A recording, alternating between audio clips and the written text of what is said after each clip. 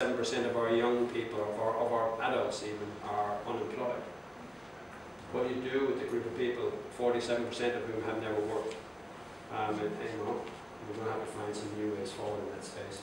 With them, like, yeah, you get There'll digital, be a tipping point so businesses look at bottom line, we can have people to save wages, but then in the life figure what they can spend. Yeah. And I don't think the bottom line's going anywhere. Yeah, so it's a zero-sum game for everybody.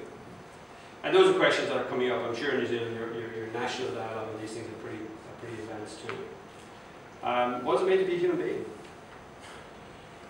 What does it mean to be in the world? You know, it mean to be here? What does it actually mean to be a human being?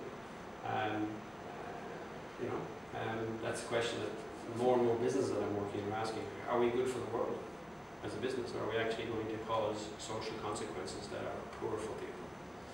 Uh, so they're big national conversations. Just one more framework, guys, and we'll, um, oops, and then we'll let you have a bit of a break. The second framework, uh, and again, it's sort of in, in this, uh, in some ways we don't need to spend too long on this because I've made the point. There's a part of you and your work that's visible, and there's a part of you and your work that's only, can only be guessed at. So if I went in to watch any of you working, at whatever you do, I went in tomorrow morning, I could look at an event? See you doing something. If I stay with you for a while, I start to see some patterns of behavior. I start to see you doing, oh, she does this this way, or he does this this way. When he meets a new person, you know, when he has a problem. You start to see someone's patterns of behavior if you stay with them a while. And if I stay with you long enough, what I'll start to see and understand is your systems and structures, how you've organized your work, your timetables, how you handle emails, um, you know, the systems and structures that you organize your work through. All of those three sort of things are visible about all of us. Like even you now, we started with an event, and 45 minutes into this conversation, you'll, you'll start to pick up some of my patterns of behavior, right? And, you know, you'll be watching and, and understanding my systems and structures. You know, how does he use slides, where does he move, you know, because you're probably processing at all sorts of different levels. You'll start to pick up my systems and structures quite quickly. All of those visible things point to what my real vision and my real values, my mental models actually are. Like if I spoke respect, if I, if I was disrespectful down here and had respect as a value, if you, if you have no time with your kids and being a good dad, you're completely out of alignment. You're completely out of alignment. The things you care deeply about better be showing up in your practice. Otherwise, what are they?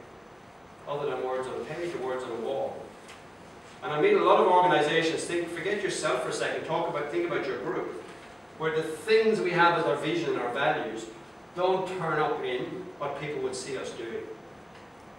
And those arrows there are called alignment. They're the arrows that say that if an organization or an individual doesn't align what they're really going for, what they really care about with their practice, um, it's an inauthentic space. It's an inauthentic practice.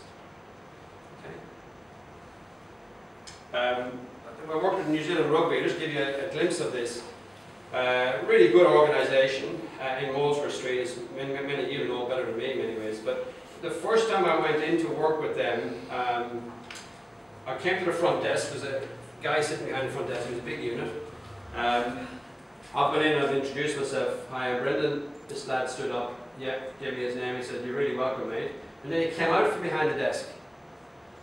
And he stood out in the sort of foyer with me having a bit of a chat. I was thinking, oh, that's nice.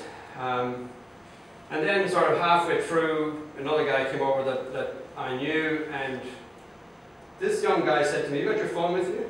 Would you mind handing it over, please? I think I'd prefer to hand over one of my children. you know, my phone, your phone is a pretty personal thing nowadays. But I said, sorry, he says, can you hand me your phone? And I'm thinking, I'm just getting this here. This is a piss take. Uh, but I took my phone out and I handed him the phone. He says, come with me. And he brought me over to, you know, where the All Blacks names are and everything. And he said, stand there. And he's gone to the cupboard. He took out the Webb Ellis cup. He says, hold that. And with my phone, then he's gone and he's taken a few pictures of me holding the, the World Cup. And then he gave me the phone back and said, send that home to your mates in Ireland and tell them the Irish have got the hands on the World Cup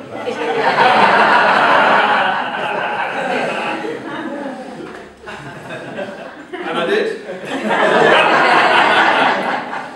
uh, but I watched him during the day, here's the point. And several times, because I was in uh, the foyer space, several times during that day he came out from behind the desk to greet somebody. Not everybody, because lots of people he just worked with. But I saw him with the father and son. He brought the son to show a, um, a, a hurricane shirt. You know, so he brought this kid down, went out of his way and brought him down. So I saw more, because to me that was an event. But as I watched him during the day, I could see, no, this is a bit of a pattern of behaviour. And realised that actually, when you look at this guy, he's, he's expected. He's expected. Uh, as a system and structure that's in place there to make sure that people feel welcome when they're new to Rugby House. It's an important place to all New Zealanders who love rugby, say, and we make people welcome when they come here. The next day I was talking to him and I said to him, uh, you know, it was really nice. I sent the picture home. My brother sent back a rude message, full of swear word. In Ireland, swearing is just punctuation, so it's nothing, it's nothing, nothing uh, more than that. But my brother sent me back a big message. I, and I said to him, uh, it was really nice, and I noticed you doing that a bit yesterday with different people, uh, not with the Webb Ellis, but just different things like that. And he said, that's our vision. And I'm the front desk of the vision is our vision is to unite and inspire New Zealanders. We unite New Zealanders around something that they love and we inspire them to be great at something. Just rugby, no, sacrilegious. But we make it clear that we can be great at things in our country. Uh, and he says, and I get to be the front desk of that. You see, you know, what is that? That is an example of, at least in his case, really good alignment. What we care about and we say as our vision will turn up at the front desk of our, our office.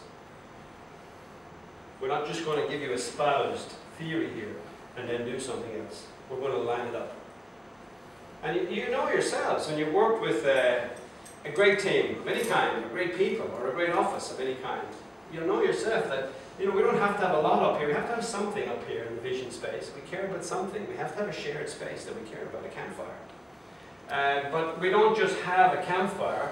We make sure, we make sure that we do the things that help that campfire, um, you know, to have light and heat for us. Uh, our practice matches our, our, our beliefs. You? I beg pardon? Did you say it was a joy. It was- He's the front vision of the. There was great joy in his work, in watching him work. There was great joy. In, I, I, I, I'd have to, he'd have to answer the question himself, but as I watched him work, he took deep pride in what he was doing. And he went out of his way for people to make sure, you know what, you'll remember this place, it's a good place to come. Uh, you're welcome here, mate, and it's a good place to come. And I, I love seeing that level of connection in practice. It's the practice that interests me. Now, if you have people who are off the reservation not doing that, what do you do? You have to have a conversation about it. If you have somebody who's so far off the reservation in terms of the vision and the values is the exact opposite of what they actually do, you have to have a pretty good conversation because there's a standard you can't walk past there. The standard you walk past is the standard you accept. And if we name things here that we deeply care about, we've got to be prepared to have conversations down here to make sure that we're as aligned as is humanly possible to be. Otherwise, we're just a talk fest. A whole group of people with fancy words up here and horrible practice down here. Time for a bite to eat. Um, we've got 10 past 7 now. Uh, if we could